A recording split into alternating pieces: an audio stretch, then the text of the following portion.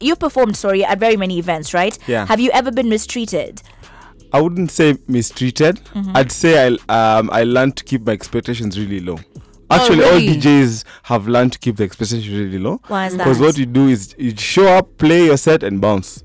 We don't expect hospitality tents. We don't expect uh, any kind of treatment. Yeah. extras, um, okay. You you're just here to make money. Uh, me, as long as I'm paid, I I know like all these problems arise there because I've seen them happening Right. and I can't expect some kind of um, dismissal when you're there. Mm-hmm. And it's not just this particular event; it's many events that are out there.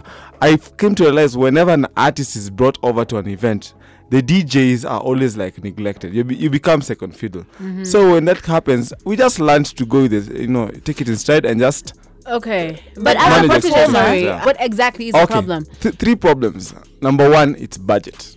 Number two, it's madharau. Mm-hmm. And number three, it's uh, whoever's organizing the event.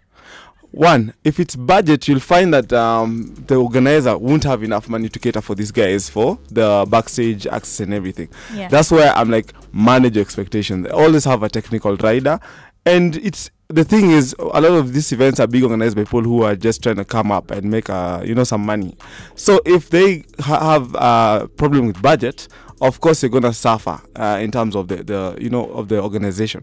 And the most important thing, really, people need to look out for is, am I getting my money fast? yeah. But that doesn't saying. I'm not saying that it qualifies that kind of uh, mistreatment. I'm just tell, telling you the At kind of least to problems that are there. mistreat uko na Okay. do. Yeah, I know. As long as you paid si me. tumezoea tu the secondly actually it's madharau when madharau is it's there when you're seeing the local art, uh, kenyan artist has come and your uh, international actors come and you dharau this guy it's it's there. It's it's been seen and unfortunately time and time again it keeps replicating its face.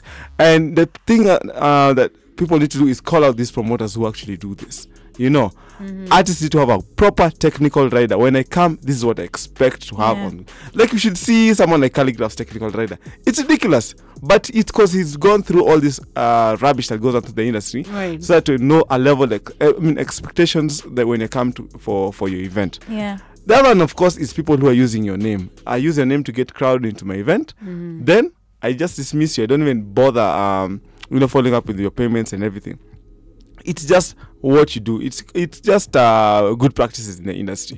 How can we change this then?